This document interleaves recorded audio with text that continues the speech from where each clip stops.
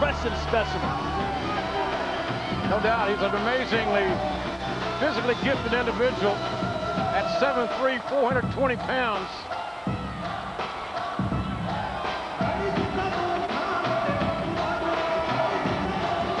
A lot of kids here from the WWE Universe with wide-eyed looks.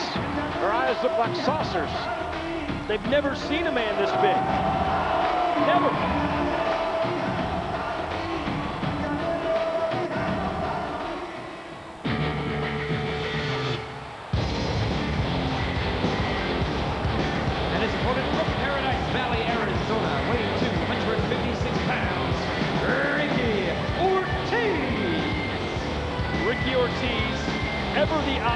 But tonight, I think even Ricky realizes he's in for a very big challenge. Ortiz is really going to have to rally up.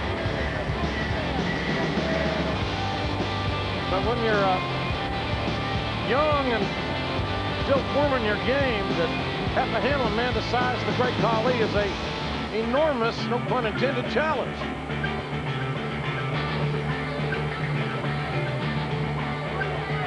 That hasn't stopped Ortiz from feeling the flow, so to speak, trying to get this crowd to rally up.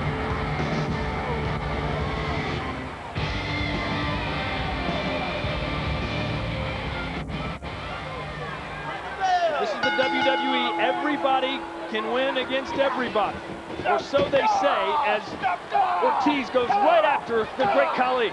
Well, Ortiz got everything to win here, nothing to lose. Well, except his head, maybe. And it only takes three seconds as the old cliche goes to lose a match. That three seconds may be about to happen right here. Punjabi plunge in Ortiz's night was like a drop in the bucket.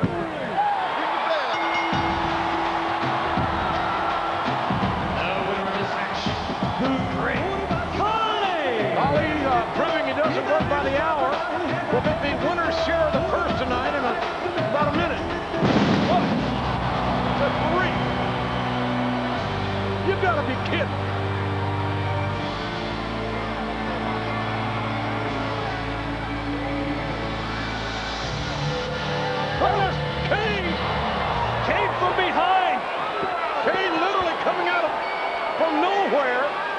Helping the great Khali over the top rope. Oh, no.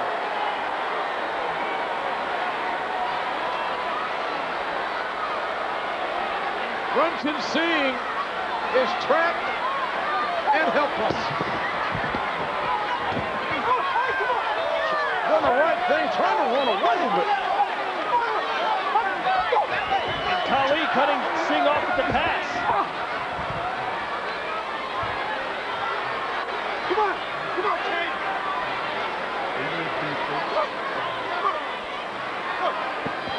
To watch, quite frankly.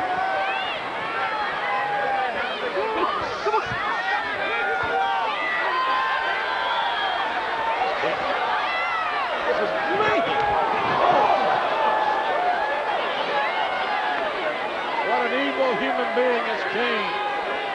This poor defenseless Ranjin being drugged like an animal to a grizzly bear's lair right out of the arena. What's the meaning of this?